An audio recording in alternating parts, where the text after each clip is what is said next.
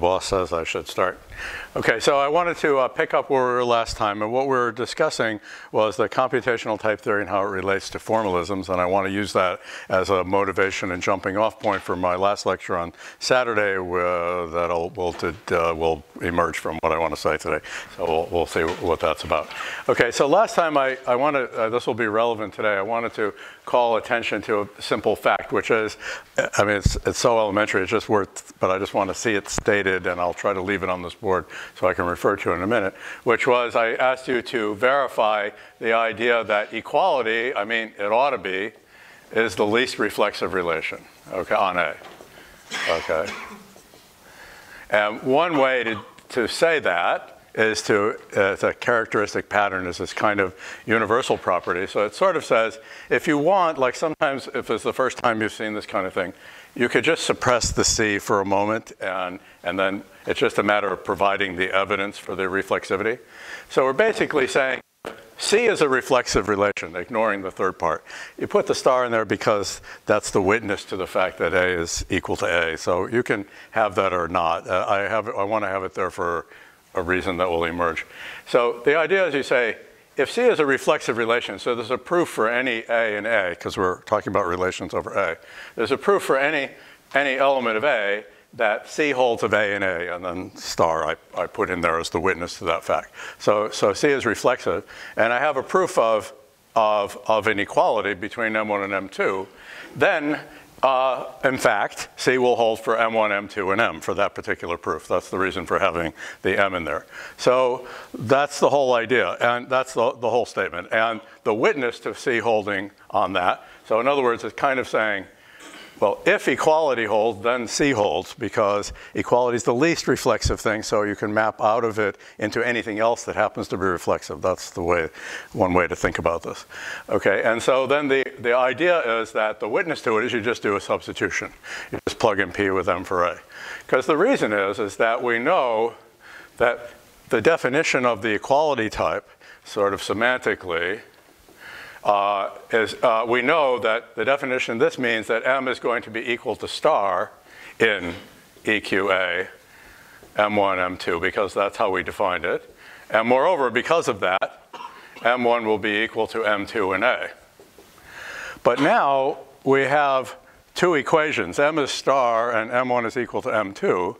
And C has a functional dependency on two elements of A and evidence for their equality.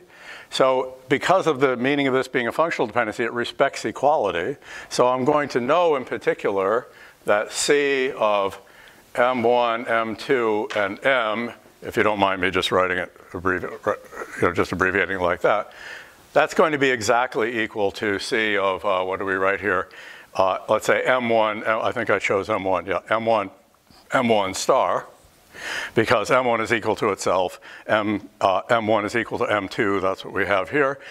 Because M1 equals M2, you could say flip it around and do transitivity, so M1 is equal to itself. And M is equal to star, so I can put those in. And C is a family that has that functional dependency. And then moreover, I can plug M1 in here, so we know that P with M1, uh, actually would have been convenient to write it uh, uh, this is M1, so I can write P of M1, if I plug that in, is in fact inhabits that type. So how about if I write it there, okay? Inhabits that type because I can instantiate the A to M1, M1, and then I get star here.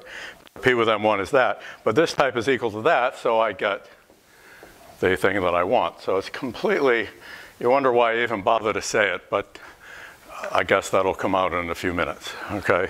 So that's what I, I gave. I said, well, formulate and show that, the, that equality is the least reflexive relation. Okay, so that's one thing you can do that's kind of going to be important. There's, I wish I could slide this. In the other room, I could slide that board up. So how about if I try over here? The other, like, really basic fact is, uh, is that the, the only element, or you can say, yeah, the only element of an equality type, of, well, let's say of EQ A, whatever it might be, Mn here, is uh, star. In other words, what we say is, if you know that M is in the equality, so this is really kind of direct from the, from the, uh, the definition, excuse me, uh, correct from the, from the, from the definition, oh, excuse me, uh, let me write this M1 and M2 so I don't uh, make a mess here. Okay, so we do that because we know that if this is the case, then it has to be equal to star. So I was kind of using this over here, so I wanted to make this in the same, in the same type. We know that. So in particular, the kind of iterated equality type has an element. This is inhabited. I have stars actually in the iterated equality type. Because if I look in an equality type and I have M1 and M2, and I have something which is in it, that's going to be equal to star. Okay? So it might take a moment if you're not used to it. Right, so I'm, say, I'm stating an equation about elements of this equality type, and I'm stating it internally, meaning that the equality type is inhabited. That's of course true because when it's true, when, the judge, when it's judgmentally the case, then of course this is inhabited by star. So again, it's like maybe a little mysterious why I'm saying this, okay, but it's called a uniqueness of identity proofs or equality proofs. So I'll call it uniqueness, or sometimes I prefer unicity. I, I don't know, I don't know which is like the better way to say it. Uniqueness of, whoops, quality proofs or quality evidence or whatever you'd like to say. Okay. As I mentioned, people use the word proof kind of loosely and it means lots of different things. Okay, so the elements of the equality type. So from a semantic point of view, uh, the type theory knows that all there is is this trivial witness to reflexivity, okay? Uh, uh, as I'm going to exploit not knowing this in a minute, okay? But that's what I'm, what I'm going to, what, where I'm heading. Okay, so I'm just recording at the moment two painfully obvious, perhaps, facts about the, the semantics that I set up for type theory, and I wanted to then riff on that. So then, last time then what we were talking about is we were examining, okay, we we're examining formalisms. If you want to say it sort of abstract implementations or bases for implementations. Okay, that's a, a I'll just put that in quotes, a phrase I just made up on the spot. Okay, for you know, for the for the type theory. So we're looking at these things, and we we recall that the idea is that these are going to always have the uh, are always inductively defined by a bunch of rules. And for deriving various forms of judgments. And then I wanted to say uh, judgments, okay, uh, of the form, okay, the following forms. Okay, so this is a recap from last time. So it's usual in these formalisms to distinguish type checking from what is called, we mentioned definitional equality. I kind of write that one first because I sort of feel like it's the primary one, but anyway, it doesn't matter. Okay, so we can write it like this, where the ones on the side we were called definitional equivalences, or it could be, you could say calculational if you want. Nobody ever says that, but anyway, you could say that. calculational if that's even a word, but you could call it calculational equivalence. Equivalence by virtue of calculation. So as an example to remind us of what we would do if we had, uh, for example, if we have a term, uh, oh yeah, and the, uh, let me mention on the side, and a possible criterion is that these be decidable, but I'll get to that in a minute. So right now we will have, for example, we might have a term like this, and let's write that. This is just, would be, um, thinking familiar to you, uh, at least an outline. Okay, so we would do this. We would have something like that. Okay, as M is in A2, that would be a typical rule for the introduction. There's often a type label here, and the reason for that is to help for example, often people want to have the satisfy the criterion that if you tell me what the variables types are and you give me a term, I can read off a type. I can read off in some sense a type may not be not unique because I can calculate on the type and simplify it in various ways. But anyway, you can give a, a default or inferable, synthesizable type for a term. And in order to do that very often, not always, but very often, the thing to do is to put a type label there. So let me just do that because you, you do. I kind of want to mention that because it's to do with what's called extraction and erasure. And I'll, I'll get to that. Uh, okay, so, and then there's the usual kind of application rule. Okay. Uh, okay, let me try to write this in some form where the numbers seem to line up a little bit. So you'd write the usual application rule like this, and you'd have, oh, let's just call it A, and then I'd plug in M2 for A. Okay, so that would be, so that's a typical thing that you've, you've seen before, I hope, uh, that you've written down. And, and then the thing I wanted to mention when we speak in terms of calculation, we always expect that we have at least the following kind of fact. So what do we mean by calculation? Well, it's all what are generally known as the beta-like rules. Whether we have more than that is always like a question of debate, okay? But I feel this is not not really debatable, okay? That you really, you really ought to have, so let's call that, I don't know, A, A1 before. So if I have uh, with A and A1 and M and A2 and N and A1, okay, it might have been nicer if I wrote M1 and M2 here. Okay, so let's do that. M1 and this uh, M2. Okay, so then it'll be M1 with, with uh, M2 for A and A2. One second. No, that didn't uh, work out very well, but anyway, okay, let's do it like that. I hope I wrote that right. Okay. So the point is, is that you get a beta-like rule. So beta rule, the beta rule, you might call that, for, uh, for the, uh, the arrow type. Okay, the dependent form of the arrow type. So that's what I mean by calculation. So we'll always have these kind of calculations. And there's always a bit of a question as to what other ones you would have. So for example, with pairing, uh, let me not, see, it's already, uh, anyway, let me start cheating a little bit and not writing out all of the derivation information because it has to be there, but it gets a little bit uh, tedious. Okay, but the idea would be that. You would have that. So these, I would say you for sure have, and maybe you have something like this.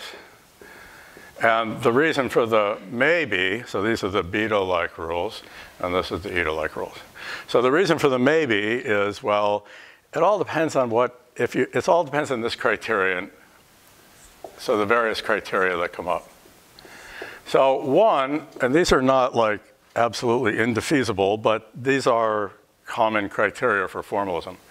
So one thing you can do is you can have decidability, and there's going to be, meaning like, for example, type checking is decidable, and there's, it's a very anodyne thing, and it would be nice if that were true, but as we, and I'll come back to, it's not always the case. But we might want to have decidability, and which means in particular I have to be able to decide definitional equivalence, and I, it's not something I'm going to develop here. In previous instances of the summer school, I've gone through proofs of things like that, and they're really quite fascinating.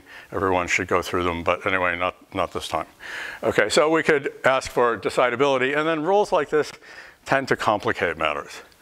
Plus, I will say, without elaborating, when I get to other types like sums, for example, it becomes more and more unclear exactly which rules I ought to have, and let me just leave it at that. The problem is how to deal with induction and, and inductive reasoning. Um, we'll, we'll, I'll, I'll just leave that aside for the time being. The other thing is a kind of computational adequacy, which I'll explain in a minute.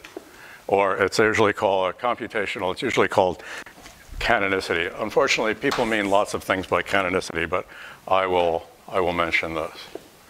Because that's going to be, uh, the, that's the, the jumping off point. That uh, This is my rhetorical device. I'm going to use that as a jumping off point, so that's why I'm, I'm, I'm working this way. So we're going to emphasize that. Okay, so my point is, is you have this thing and you might want to have these various criteria.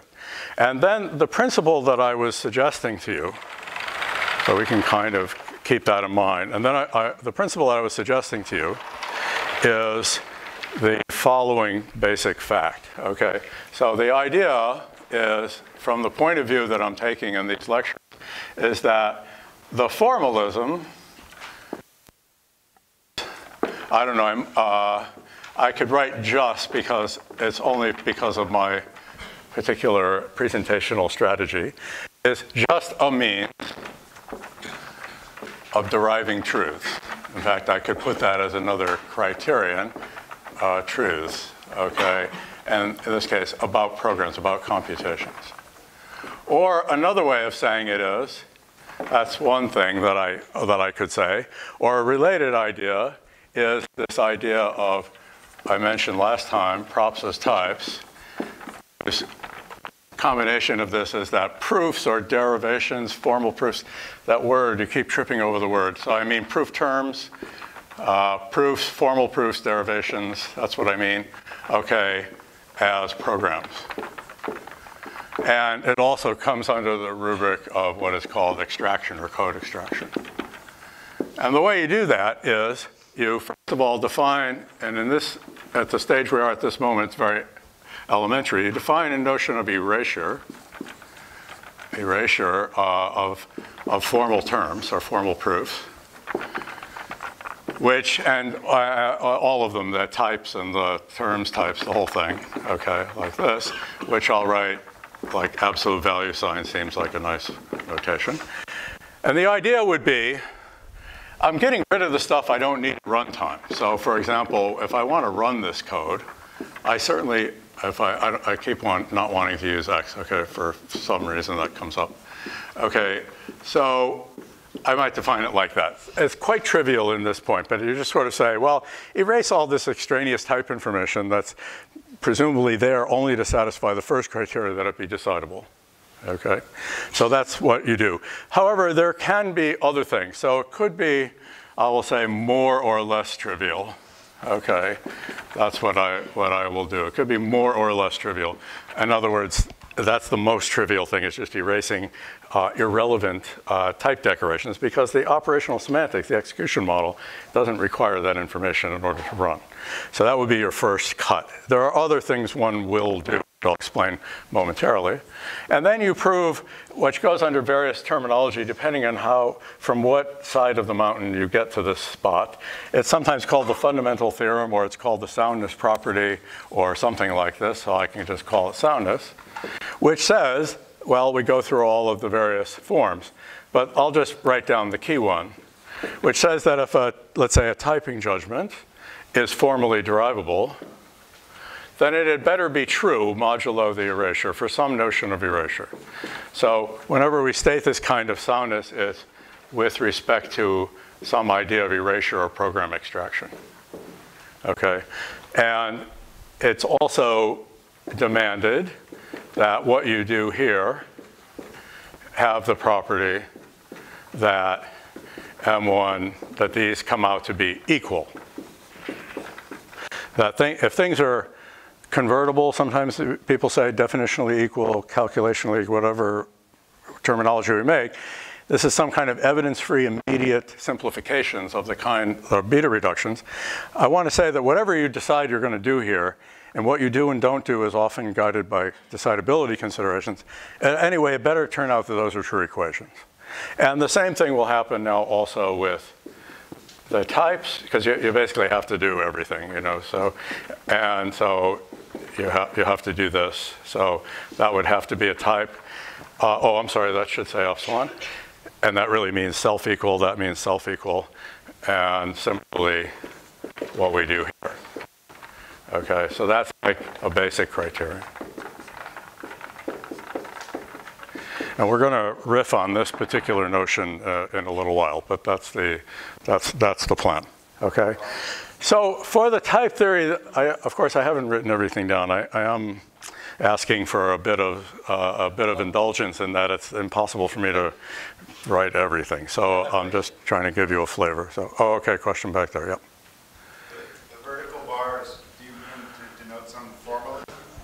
With the vertical bars, does that denote some formalism? What is the vertical bar? Uh, I can. I'm going. I'm going to. I'm saying I'm going to define some notion of erasure. Let's say for this moment, all I care about is I'm going to get rid of type labels, let's say. Because lots of things, in a formalism, for example, with sums, you can't really get away with writing 1.m if you expect to be able to read the type off of every term, because you don't know what the other, even if you know that this has type A, this is going to be A plus what? So then officially it becomes quite dreary. It's in A, B, you know, in one, A, B, M, and you have to have that. But then quite likely I'm going to erase that to just 1.m because that's all I need at runtime. Okay, so that's like a most basic, there are more fancy things, but this is like the most basic thing.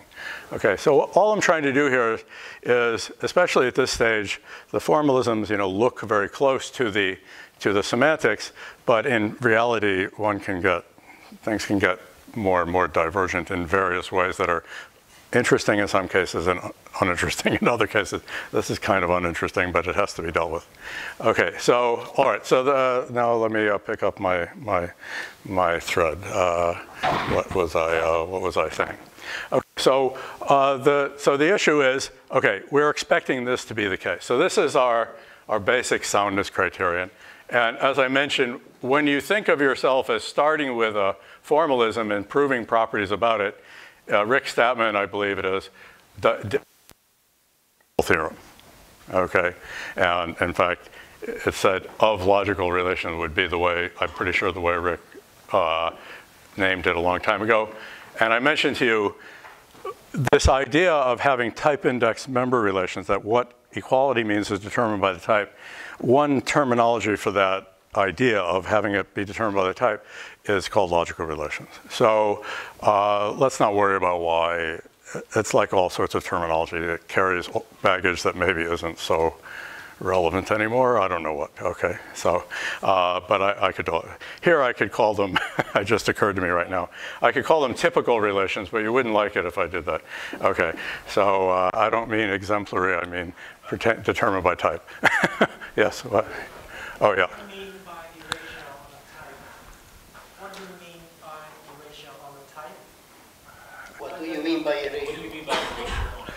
What do I mean by? Erasure on a type. Well, remember in the first lecture I was emphasizing that in a dependent type system you have to mix types and terms.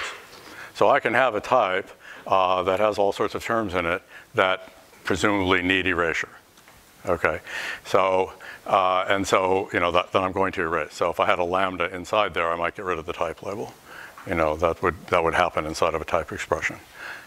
You know, for example, I could have a sequence of length, some complicated piece of code that has type nat, and that complicated piece of code is a term, and I would erase that term. So that's what I mean. Okay, in other words, I'm not erasing the types entirely because I have this setup in which the types are programs too, and they have meaning, and I have to worry about that. So it's not like I'm another possibility of erasure. I, now that I, I, just only thought of it right now by, by virtue of your question well, another thing that people do consider is just forget about the types entirely.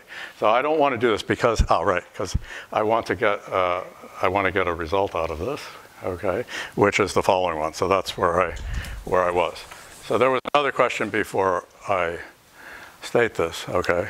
So what's the, a corollary of this and why I'm doing it the way I am? It all sort of fits together. So a corollary of this is that if you have a closed term of type Boolean, then it evaluates the true or it evaluates the false. Well, why is that? Let's say I prove this theorem. I'm not going to go through such a thing with you. I was, the reason I proved the various lemmas I did about the type constructors, I only stated a few at the board, but in the notes I gave you, for example, they're in there. The particular lemmas I chose were the ones I need to prove this theorem. Okay, that's what I was doing. That, that's why I said, oh, let's try to prove that if M is in A arrow B and N is in A, then Mn is in B. And then I proved other such things. Well, because I had in mind that I was going to go by induction on the derivations and I was going to prove this theorem. So I proved all the right lemmas. The, the principle of it is, with all the time in the world, I would have proved all the right lemmas and then this would be, would be uh, plain. So I'm just asking you to accept that I can prove this because I proved all the right lemmas about the computational meaning of types. So if I do that, then you see, if I have a closed term, so the emphasis here is the gamma is missing, right? So this is closed. Then it must evaluate to true or false. Okay, good. So that's, and then a particular corollary of that, which has been emphasized, is a kind of logical consistency because I don't end up with being able to, I couldn't possibly prove M, uh, that true is equal to false syntactically because if I were to do that, uh, I would violate this kind of criterion. So I know that these are going to evaluate either true or false. So what did I what did I mean by that? Oh, and then they would be equal in uh, they would be equal in the meaning of bool, which contains only true and false. Okay, and equality is the reflexive relation. Okay, so uh, so we can do that. So that's a, a, a, basic kind of setup. So from this point of view, uh, the whole point of a proof theory is just to provide you access to the truth. Now, it's true that people study proof theories and try to show that they have various properties. Here is another property which I call the canonicity property, which is another sort of desirable property is this. So the soundness criterion, okay, soundness tells us that you can do program extraction uh, that are proof, you know, from proofs, that proofs have a computational content.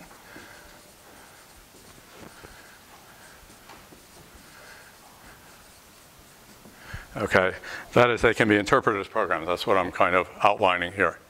And an important other criterion, which I wrote on the obscured upper right board, up there, which I, I just thought of as canonicity, is I would like to internalize this fact, okay?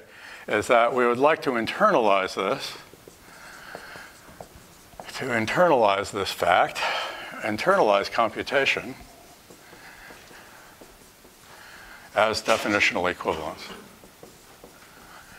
So in particular, we would like to have, and this becomes a, a criterion that people apply, no such criteria, I think, are indefeasible. There are reasons to want it and that are defensible, but maybe you could argue against them. So let me not, okay, but this is certainly a very common thing, which says that in particular, if I can prove syntactically as M is bool, that's kind of what I was saying before, I know, oh, uh, did I write it? I'm sorry here. What I should have done, I forgot my erasure maps. I just got through talking about them and then I forgot to write them, sorry. Just a brain cloud. Okay, so I mean when you compile it down, okay, the compiled form is true or false. I'd like to be able to do that calculation in the definitional equality because the definitional equality is supposed to represent all of the reduction steps that are possible. And so if, I, if it really does, then I could anticipate that I can derive that m is definitionally equal to true or it's definitionally equal to false. And this is a separate theorem. You really have to prove, this requires a lot of work, okay? So this is a separate theorem. The basic result is due to Martin-Löf probably as long ago as 1972, okay, or 75, somewhere along in there before you were born, uh, for various values of u. Uh, so the uh, so the the uh, uh, it's a non-trivial thing. In other words, I'm saying it doesn't follow immediately from this at all. Okay, it's not not. I'm going to show you in a moment a situation where we have that computational interpretation, but this is not the case. That's kind of where I'm heading. Okay, so so that's uh, that's what I want to mention. So that's a separate theorem. So what is this? Is it's a kind of internal completeness property. Okay, I would call it a kind of completeness property. And what I mean by that is that if you feel that the formalism, the purpose of it is it's my implementation, this is what I'm working with, never mind what's true, I have to have an access to the truth, then you might like it to be internally complete that if I have a closed Boolean in particular, I should be able to calculate what it is, I have it to be true or false.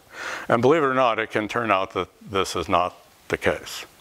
Okay, good, so I will, I will mention this. Okay, so that's the basic setup. And in fact, this will be true uh, even uh, for a large chunk of type theory, including, and then this is why one of the things I left off last time, is how do you express equality? Never mind this definitional equality. The idea is how to express, or I should say formalize, okay? How to formalize equality. And there's a formalize equality. Now I mean equality, not just calculation. Okay, so for example, I might like to know, this is going to be relevant for me momentarily. I might like to know that for any A in that I might be able to, I would like to know in some form, uh, oh, uh, well, it, it is true in, in, the, in the type theory that something like in the underlying computational type theory, that A plus A would be equal to 2 times A for some obvious definition, okay, of plus and cross that involves, you know, it can be done with primitive recursion. This would be the case. And in fact, it would also be the case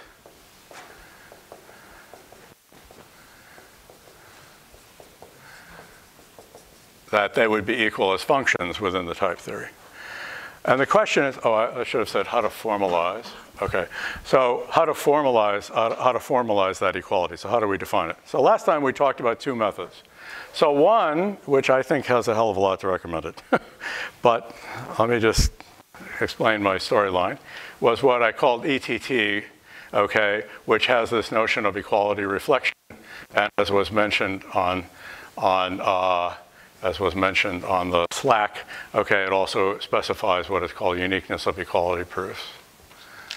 Okay, and, and one can do this. And the only issue with this is it has a lot of virtues, uh, many virtues, and it's expressive. It gives you a nice way of reasoning about equality, but maybe you don't care, but it's not going to be decidable, okay, for anything sufficiently rich that we have around, but you will not be able to decide type checking. So one trade-off is to say, if all I care about is the thing is, provides access to the truth, any port in a storm, do whatever the hell you want. Implementation, do what you like. As long as it gives me true things, I'm good. Okay? I think this is a defensible position. Okay? All right, so that's a version uh, that in particular Andrej is exploring right now in this general direction, and it'd be worthwhile to see how that all works out. Okay, the other thing is what is often called kind of ITT, which is originally Martin-Löf's original formalism, and it uses a, uh, a different method. And I, I could describe it, I'm not sure, I can't speak for anyone else's mindset, but you might say, if I'm going to maintain decidability, you start to scrape for what sort of things I'm going to do to internalize equality. And what it does is it formalizes, and I'll explain now in a second with reference to that board over there, so formalizes, I'm going to use a different terminology because you'll see why in a minute. It formalizes what is called identity as the least reflexive relation, or it tries to. It all depends what you mean by reflexive. and so, uh, so that's the thing. So you'll notice I said to you that equality in the computational type theory is the least reflexive relation. And indeed, this is an example, I originally write dots there. Uh, the, the, this is kind of an example of reflexivity. You're saying, well, this thing is equal, equal to itself. It means those are the same thing. Okay, and uh, we're going to see what happens when we try to do it in a formalism because it kind of famously doesn't work. Okay, so on the other hand, the weakness will turn out to be a strength, which will turn out to be a weakness. So that's the way where this is where this is going to go. Okay, so so I'll I'll tell you about that. Okay, so first I just have to formulate that. The last time I, I didn't get quite enough. Uh, I didn't write it. Didn't get time to write down what I wanted to write down. So let me do this. So some of you may have uh, may have seen this before. It's a kind of a nice example of the issues I mentioned about erasure when you look at it. So the idea is that uh, if it'll let me be uh, sketchy uh, to some degree, but because I don't want to be awfully tedious here. So it has this a type id M1, M2, and I could write down definitional equivalence rules, but forgive me, and I'll just be kind of brief about this. Uh, uh, if you have two terms type A, I'm going to have a type which is going to be called id. The upshot of what I'm going to say is up, to the, up through what I'm going to do, it can be safely interpreted as equality. But then people are going to do things, and then that's where I, where I want to get to. Okay. So, all right, so we have that guy. It starts to look a lot like equality. So you say, well, if I have m is in A, for example, then, and now it has to do with the the criteria, what form, what criteria, the upper right corner somewhere criteria, what criteria formalism should satisfy. In order to satisfy some of these criteria, people are quite explicit about these things. So it's often they'll say, reflexivity in type A at M is going to be, specify this as a reflexive relation. Okay, so that's the way, the way to think about that. So it's almost like writing star colon that, except that you have that. And indeed, what I'm going to do is I'm going to erase all that and just make it star, but we'll, we'll get to there. Okay, now there's going to be a certain similarity to what I wrote here, so that's why I did it. So now the way you express that it's the least reflexive relation is basically the same mindset I gave you before. So that was kind of a warm-up exercise, okay? So what I'm going to do is uh, I can write this in various order, but I have, if I have my A, B, and A, a lot of it's very, very kind of similar, except I have now id here. I'm using a different terminology for reasons that, partly because that's what one does in the literature, but also I have a reason to be careful. Okay, so let me, let me do that. So uh, this would be id AB, and I will derive from this some capital C as a type, okay? So I, as we did over there, what I'm gonna work out is that, uh, oh, and you give me some particular proof, let's call it P, id AMN, let's call it that. So this will be MNP.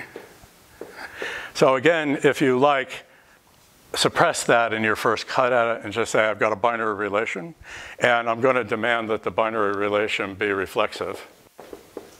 So I have a proof Q uh, that the binary relation in question holds for A, A, and reflexivity. Again, if it's your first time looking at it, just like suppress that part. And so I'm just saying C has to be reflexive.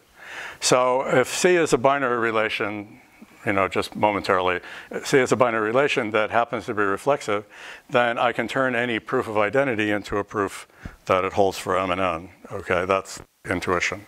So the way this is always written is this horribly intimidating looking thing called J. But I, I hope in the way I just pronounced it out to you, it seems less intimidating.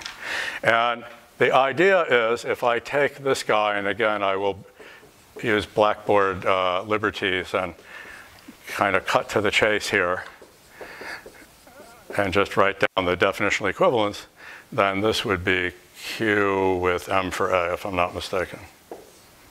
Okay, so we would do it like that. Okay, at the appropriate types. Now, in, a, in the setting of formalism, there's a lot of particulars that you have to adhere to, but let me, let me just be a little bit hand wavy. Okay, so that's the, that's the idea there. So that's the usual definition, okay? The, the usual definition. So it sort of says identity is the least reflexive relation, because if you give me any other reflexive relation, then there's this blah which maps from the identity into that relation, because it is the idea. Okay, so so it's a, a, universal characterization of equality, you might say. The problem is it's not exactly what you might think at first blush, because there's an important theorem. Let me make sure I have, oh, uh, I'm trying to think of what order I should say the next things. Uh, if you give me a moment. Okay, so let, let me do it like this. So now I'll have, I'll, I will revisit soundness. And the key idea is this, as I've already mentioned. Identity of A can be interpreted as equality. And I'll just put all my erasure bars in there. I'm doing that. Probably I should like use different colors. And in the notes I handed you, I did very laborious. One of the reasons I couldn't get them done in time for summer school as I was laboriously working on the color. But anyway, I use colors and stuff, and it might be a little more visually uh, better on paper if you look there. So I don't know what I wrote here. Sorry, get rid of that. I can interpret this as equality. And then the critical idea is if I'm pushing through, so I do that, and I just say, therefore, reflexivity at M, oh, I don't know, that's just star. Just interpret it like that. And then J is the interpretation of J, well, let me not re replicate all this, is just the erasure of the M in question. Okay, so this is a proof of M and N, so let's say the erasure of M. Oh, excuse me. it's just the erasure of Q, I called it, and I plug in the erasure of M for A. Because you see, that's what I did here. Did I, did I do it right? Yeah, that's what I did here, except that I kind of stupidly used the letters in a slightly different way. Oh, that's irritating. Uh, forgive me, this is the Q in question. Sorry, I could have made my letters right. If I change them in place, um, I'm asking for trouble, but let's try it. So we'll put Q here, and then that'll be my Q, and then I'll call this guy P instead because that's what I did over here. And then we'll call this P, and then instead of M1 and M2, I call them M and N. So let's do that so that it lines up. And then it's MN and P. Oh, that worked out okay. All right, so I hope that that's right. Okay, and then the argument then changes accordingly, alpha variate accordingly. Uh, well, let me not repeat it. Uh, let's just leave it in place, the argument. You'll have to update that. Okay, but it's the same argument. Okay, so the point is, is that under erasure, because equality is the least reflexive relation, I can interpret the least reflexive relation as the least reflexive relation. Okay, that's what I'm doing. Except that it doesn't go the other way around, okay? And so that's the, that's the important thing. So what this means is, and then we'll see, is that I'll call this formalism ITT, has a computational meaning. We knew this, but I'm explaining to you what it is, and then I will, I'm going to explain to you how we get into a little bit of trouble with that. Okay, so good.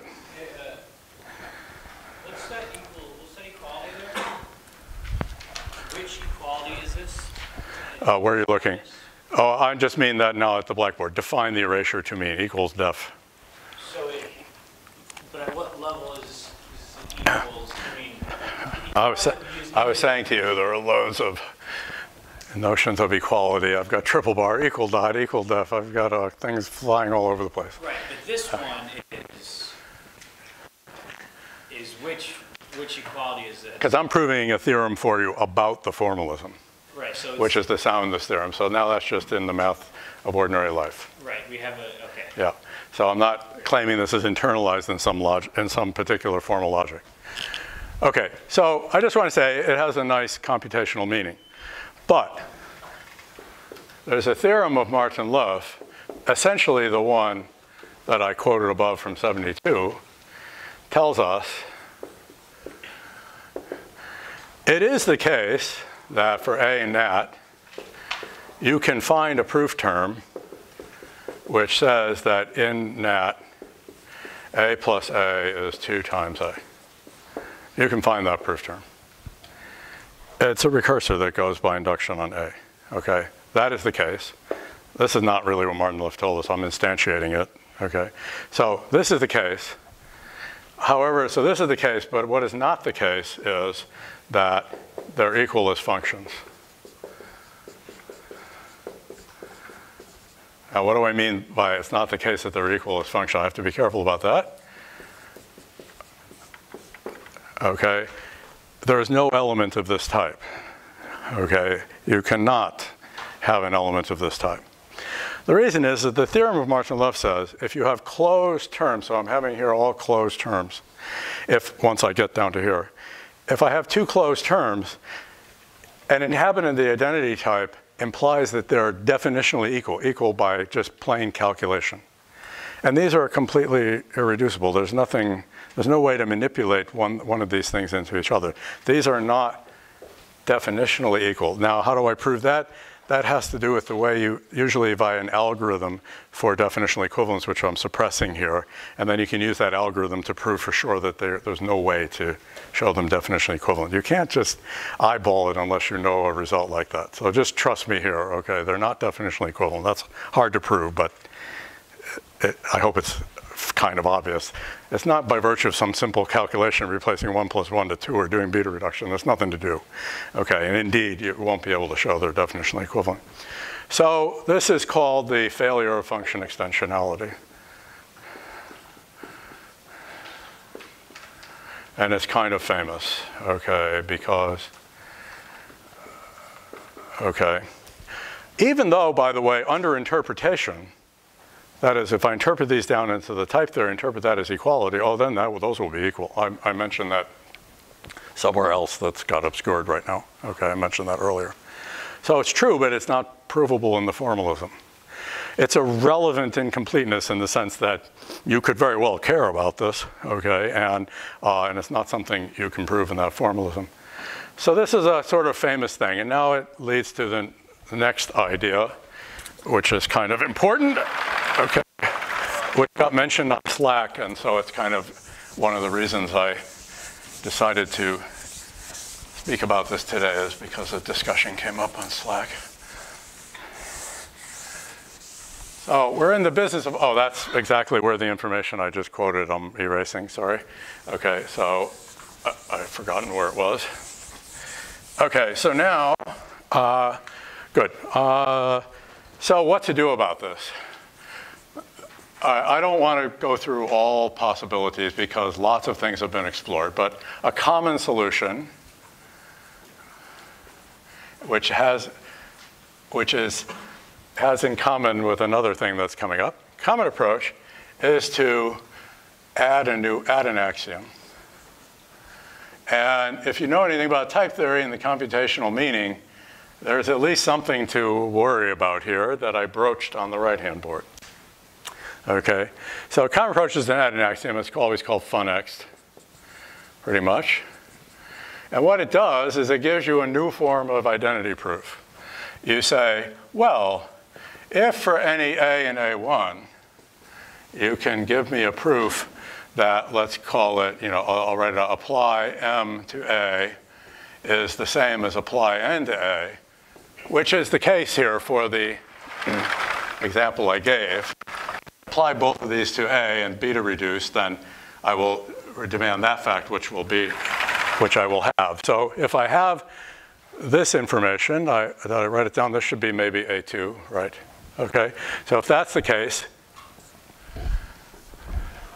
then id A, uh, A, A1, arrow A2, Mn will be inhabited by that. So in other words, what, what is often written is funext of H will be a term of type id A, A1, arrow A2 of M and N in this particular case, where H uh, satisfies the premise. It's the, the, the hypothesis or the premise that they, the functions are, one could say, extensionally equal. I'm pretty sure the, the, the, the, H uh, is, uh, uh, letter H is often chosen for a reason, but I'll, i guess I won't, I won't, get to there. So, so never mind. Okay, so the, uh, so that's the idea. And somebody mentioned that like Lean does this for you automatically or is capable of doing it. Anyway, lots of people do this you, now you need to ask yourself, there are two things to ask here. One is, now wait a minute. What do you mean? The whole way type theory works is this matching of intro and elim. What does it mean to add an axiom? Suppose I, I say, oh, you know what? I'll add an axiom called infinity to the natural numbers, and I'll just postulate infinity colon nat. What? That is inductively defined. I have a recursor. It's going to work on zero successor. What is this random infinity symbol you're throwing at me? It doesn't make sense to add axioms to type theory in a certain way, except for an important fact, okay, which is the following thing. So my first point is that weakness is strength.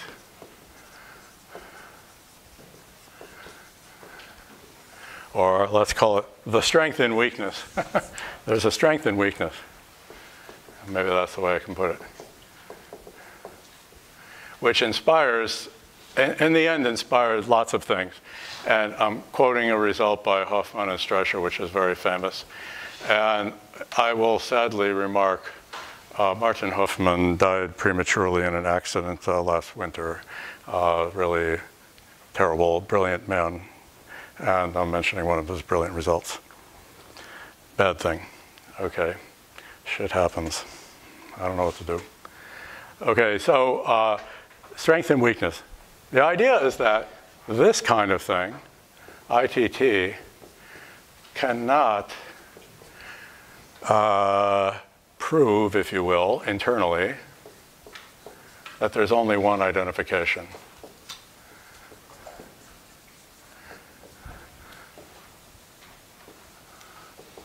in other words, element of an identity proof. I call them sometimes identification. That is, you cannot, because you might think, well, I add in this axiom, maybe I can prove, like here, that anything that's in there is equal to star, and then I, therefore funext would have to be equal to star, and that doesn't make any sense. Like, that's completely insane. But the thing is, it can't do it, okay? And this is a, uh, a, a, very clever thing. I, will just call it by name, and I well, uh, I won't explain to you what it is, but you can kind of look it up. It's something called a groupoid model. A groupoid can be thought of as an equivalence relation with evidence. You can think of it as a generalized group, but it's kind of the same idea. Okay? So this id type is a binary relation with evidence, and by the way, you can prove that it's an equivalence relation. I just didn't do that. So they interpret it as a groupoid, which is equivalence relation with evidence. I'm waving my hands a little bit. And by showing that, they show that you cannot refute this. So it's not so bad, okay? It's not, doesn't become, so semantically in some sense, it's okay. So this is kind of, so to say, it's sort of okay mathematically to do this because you're not going to get into a horrible mess.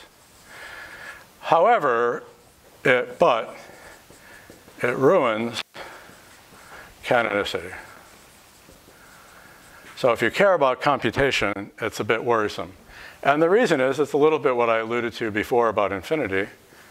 If I take an instance of, I take J, it knows about reflexivity. But what is poor J supposed to do with an instance of funext? You give it an instance of funext, and that's supposed to be what? I don't know, it's like adding infinity to a natural number, and then the recursor, blah, blah, blah, applied to infinity is supposed to do what? I don't know. Okay, you're the one who added the axiom. You tell me. Okay, so the axiom got added, but it's not clear how to handle it computationally, except there's something even more suspicious. I'll get you in a minute, William. Okay, yet, it's valid under erasure. In other words, it's sound computationally because I can simply erase funext. I call the fun FE here. I will just make that B star. Why? Because in the setup of the computational semantics, which has meaning in terms of execution behavior programs, function extensionality is completely true. Function, the very definition of what it is to be a function means it takes equals to equals. Okay, it's extensional. So I can just just blow that away. It's like I don't care about it. So the programs in this setup run without difficulty, but you cannot, it seems, the question is how would you recover from this? And I'm not going to be able to speak about that, but the route to the recovery is via what I'm going to talk about next. So that's why I bring this up. Okay, so it's not clear what you do here. This is basically a stuck program. It's like saying recursor, oh, I inconveniently erased it. It's like saying recursor applied to infinity. It's stuck, okay? And well-typed programs aren't supposed to get stuck. Okay, I'm, I'm, you know, joking really, but there's a, you know, something weird going on here, okay? All right. However, it's okay because I can interpret it into the computational type theory using this notion of erasure, and then everything's hunky-dory and we're good. Nothing else to say. But the formalism, if you're stuck with the formalism and you're trying to prove something, you're, you're, you're going to get into trouble because a corollary of this being a mess is not every term of type Boolean is, is equal to true or false. You can't internalize the computational content inside the, inside the theory. There's a, a sort of a kind of incompleteness phenomenon that's going on. There's something, something looks a little bit wrong. But at least it can be interpreted, uh, you know, semantically and even computationally in, in, this, in this manner. Okay, let me uh, check my notes to see what I, uh, uh, yes, Henry, there are. Uh, I put them on Slack. Uh, however, they're woefully incomplete. I tried to get uh, stuff done before I came here, but I wasn't able to do it. Okay, yeah, good. Okay, so, so the issue is there's strength and weakness, but it's nevertheless pretty weak. Okay, we get into a situation that we, we ruin canonicity. Okay, and so that's kind of a problem. And so one thing, so in this particular situation, there is a way out using a formalism called OTT. And some of you may know this. This is by um, uh, uh, Altenkirch uh, and uh, McBride. And they have formulated this, which is a proof theory that uh, now we know how to explain that proof theory in a clean way, and it's via what are called cubical methods, which is I'm going to broach next. Okay, so that's what I'm, what I'm going to do. Okay, so there is something called OTT which can do it, but we now know better methods, but to get to them, it's better to go a slightly different route. Okay, so that's the state of affairs with, with function extensionality.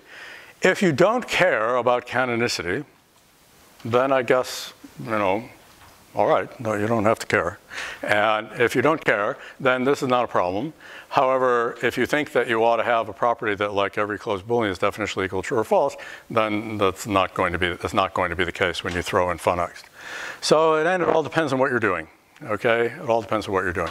But you can extract code from it, so it doesn't it doesn't disrupt compiling things down to programs, but it disrupts the way in which you use the formalism uh, itself because you don't get that. Okay, so that's the state of affairs. All right, so this idea, though, about there being strength and weakness, what's going on is that because the formalism is merely this RE thing, it's the old story of axiomatics. If you've ever studied first order logic, right, you know that despite all your efforts in first order logic, you can't pin down the natural numbers. They're weak, okay? And there are, for example, interpretations in which you actually have an infinite natural number and things like this, okay? So the weakness can be exploited by saying, well, you see, it doesn't know that there's only one identification in contrast to the semantic framework I set up. Then, since it doesn't know that, uh, I can take advantage of it. And then, once you realize that, then you can really go to town okay? Because then people started saying, well, in for a nickel, in for a dollar, okay? Let's, uh, let's start doing other things, okay?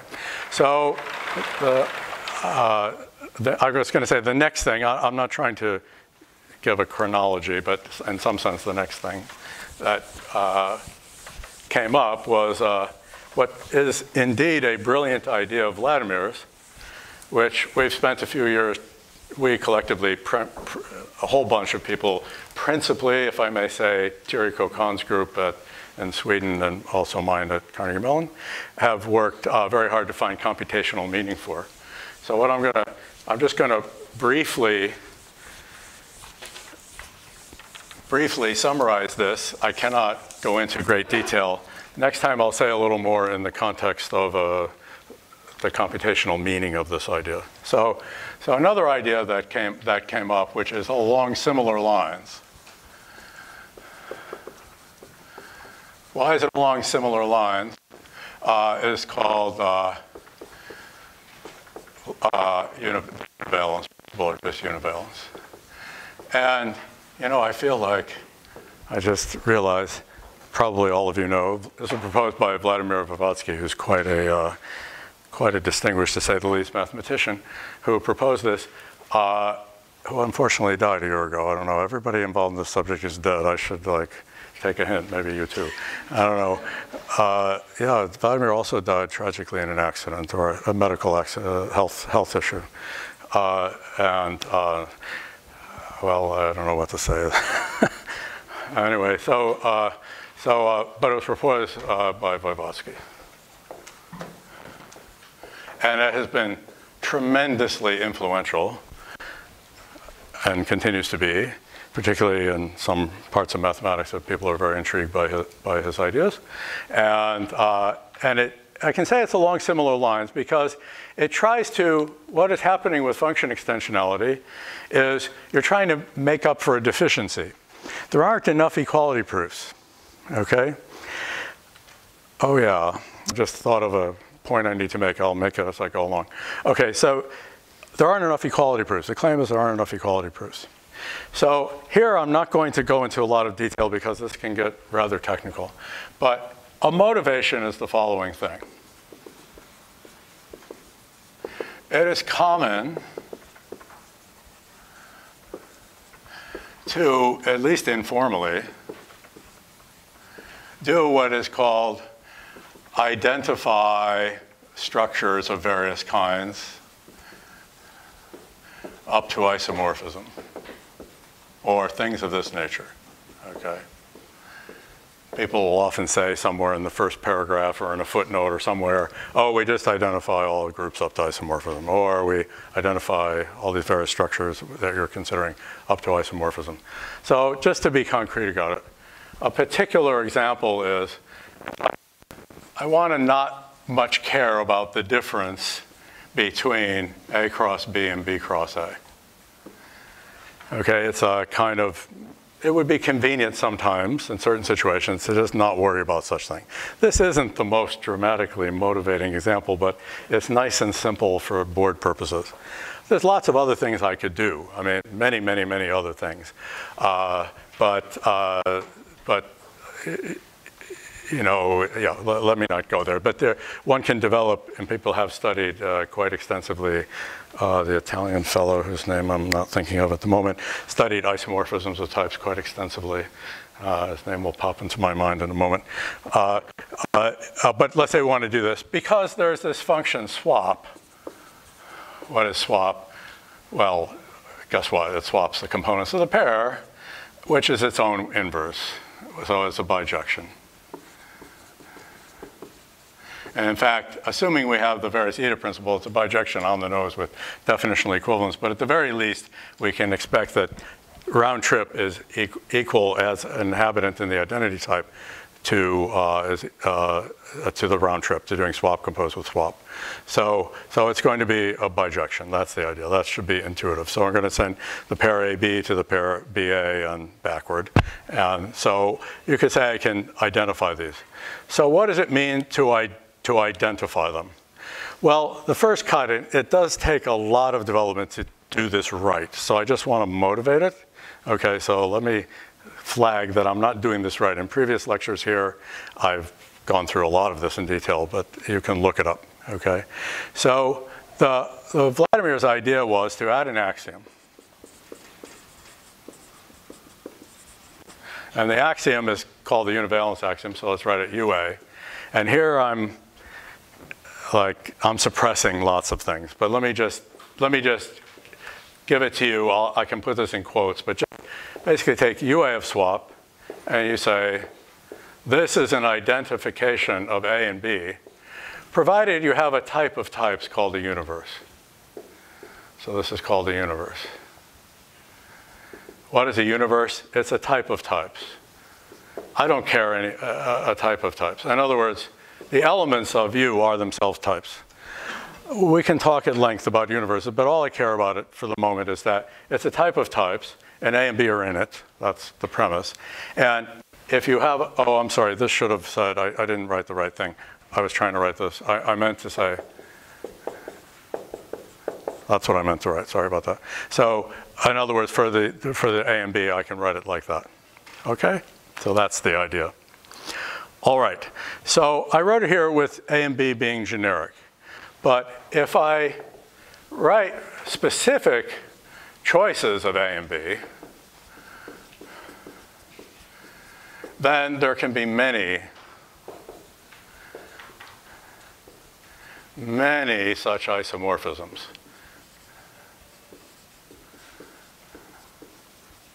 Okay, uh, if I have, you know, I don't know, if I do sort of bool cross nat, I can consider it, or for that matter, I don't even need to go that far. I can say bool is isomorphic to itself in two ways. One is by the identity and one is by negation. So there can be two different reasons.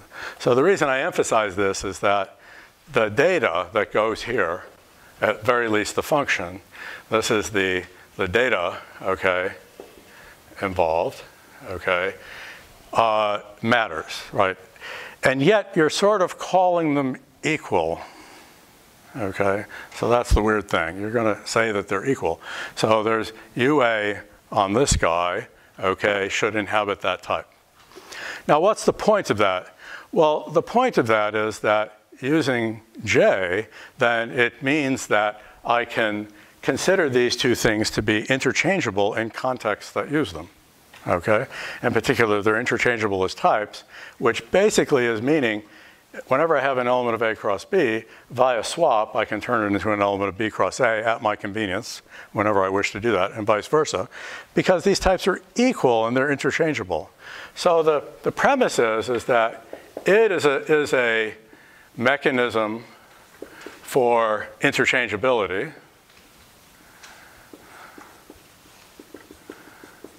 And we're going to stipulate, I guess might be a good word here, we're going to stipulate that, well, equivalent types, and this is, again, I'm, I'm suppressing details here, that equivalence types are identical and therefore interchangeable.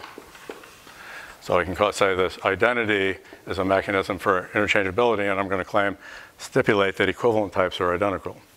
So the premise of it is the reason I want to do this is that I already have machinery around for interchanging them. In other words, I don't want to manually thread swap through my code, you know? I just want to be able to say, well, I specify they're identical, that's why people do this, and then wherever you use one, you can use the other by working with J.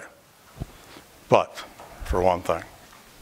This is all well and good, and Vladimir gave a model that is an interpretation that validates it using what are called a particular combinatorial device called simplicial sets. Let's not worry about that, okay? What that is right now. But the question is, the thing I want to point out about it is that as with function extensionality, it ruins canonicity. Because we, if you'll let me abbreviate J, whatever, of we had a problem with funext, What is that supposed to be? E the situation is even worse with univalence because this will be an equivalence E. And the question, what is that supposed to be?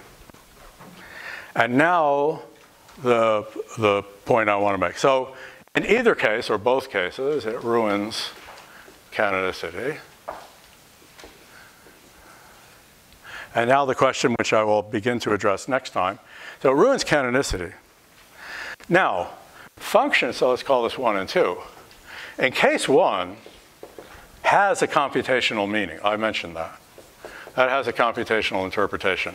So I can sort of say, okay, we need to devise some formalisms that will, you know, bring that out properly, and OTT is one of them. Okay, so we can do this.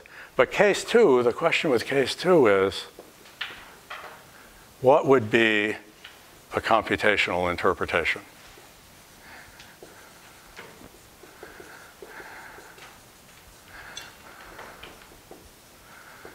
And what I'm going to do next time is give you the outlines of that by generalizing the framework I set up so far to account for what is, higher, what is called higher dimensional structure. So I'll do a cubical type theory. I'll give you, I cannot, I've been despairing of how I'm going to pull this off. I'll, I'll give you a flavor. That's what I can do. Okay, so, uh, so what would be a computational interpretation? I will just remark that it ought to exist. I mean, if you just take, okay, if you just take the idea that like with swap, I know what to do. Swap is a perfectly good lambda term. I know how to run that. It swaps the components per pair. There's nothing remarkable there. I ought to be able to sprinkle in the swaps wherever I need them because I'm treating them as equal. And I ought to be able to make that work, shouldn't I? Well, you can, but, but uh, it's a hell of a story, okay, making all that work. And so the, the answers to this principally are CCHM, first of all, Cohen, Coquand, Huber, Mortberg, okay, which was just published this year, but I think it was around 15 maybe, question mark, but it's actually, for various reasons, it's marked as 18. And then there are uh, various papers by Carlo Angiuli and Favonia, whose actual last name is Hou, H-O-U, uh, uh, we write it F for Favonia, and H, and you can look at my webpage, and these are 17, 18. Okay, they're being published now, but were put out on arXiv last year. And we should look at these. So this is you know, Coquand's group, who deserves a tremendous amount of credit for this. There are some ideas that we use that are inspired by him. We take a different approach, but anyway. And, uh, and then this is, uh, this is uh, my group at CMU. So the uh, so this is uh, this is what uh, what we'll be doing. I'll be talking about that. So the important point though is that whereas here I can kind of get out of trouble by this erasure trick. Uh, no way I can interpret it as equality anymore because these two types, although you can kind of say they're interchangeable, in the sense of exact equality in the way I described it in the computational type theory, they're not equal. They're not the exact same type. Okay, that, no, that's not the case.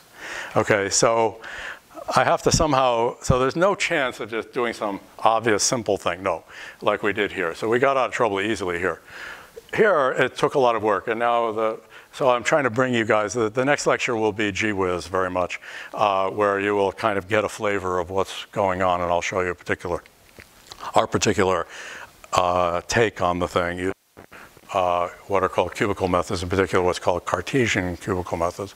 And in the process of dealing with that, well, there's lots of stuff to be said there. So I'll say a few things next time, so that's what will happen. Okay, so this is uh, in the last few years, let's say in round figures, uh, five, six, seven years, I forgot when. Actually, it's about 10 years ago that Vladimir visited CMU. It might have been, uh, I, I have to look it up, eight, eight years ago, something like that. First visited CMU and spoke about this. And uh, uh, it was very obvious that it was a very deep and brilliant idea. But at another level, I thought, completely crazy. You can't add axioms to type theory. And I felt, sort of heartened when Martin-Löf stood up in a different meeting and said more or less exactly that. and I said, well, okay, I'm not totally nuts. And, and so, but, and, but the, the point of it is, if you want to bring out the computational meaning of type theory, then it's work. If you only care about the math, if simplicial sets are good for you, okay, I, I have nothing to say to you. Okay, I have no contribution at all. Uh, my premise here is what does all mean from the point of view of computer science? That, that's what's going on. And so, uh, so that's what I sort of want to I, I want to bring up. Okay, so let's uh, let's stop for today, and uh, we'll pick up. I'm I'm I'm the last guy on Saturday. I hope you won't be completely asleep or already on a plane. Uh, you might be. Okay, so uh, we'll see what we can do. But it'll be a little bit gee whiz. I have worked out what I would like to do, but I am very cherry about whether I can actually pull it off. So we'll try. I've never tried to give to an uninformed audience any explanation of what we're doing, and I'm afraid of it. So we'll, we'll work together on this on Saturday to figure out uh, whether I can do it. Some of the ideas are pretty appealing and pretty simple, but it does get a little involved, and I don't know really efficient, simple ways to get to the point. So I'll do, I'll do my best. Okay, so we'll try to do that. I've been despairing of whether I can do it, but I'll try. I will bring to bear all of my teaching skills, such as they are, and try to explain those ideas to you. Because if you do dig into them, I think they're pretty cool. You can get really seduced by them. Okay, so that's it. So this will be enough for today, and uh, thanks for your attention.